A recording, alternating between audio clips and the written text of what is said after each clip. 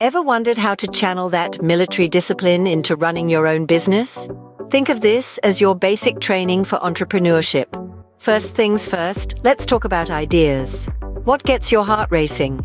What's the one thing you could talk about all day? Find that sweet spot where your military skills meet market needs.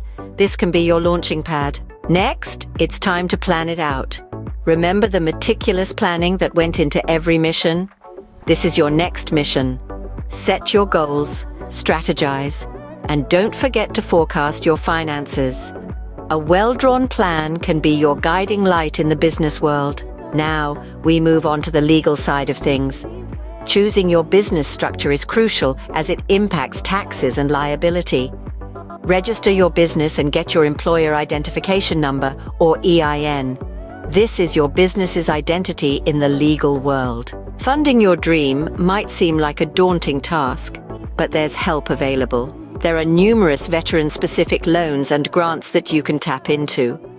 Money shouldn't be a barrier to your dreams, and with the right resources, it won't be. Your business deserves an audience, and it's your job to find it. This is where a killer marketing strategy comes into play. Attract loyal customers with your unique story and value proposition. There will undoubtedly be challenges along the way, from navigating civilian business laws to securing funds, the road to entrepreneurship is not always smooth. But remember, your resilience is your greatest asset. There are also resources available to help you along the way. The Small Business Administration's Office of Veterans Business Development, Veteran Business Outreach Centers, and other organizations are there to support you.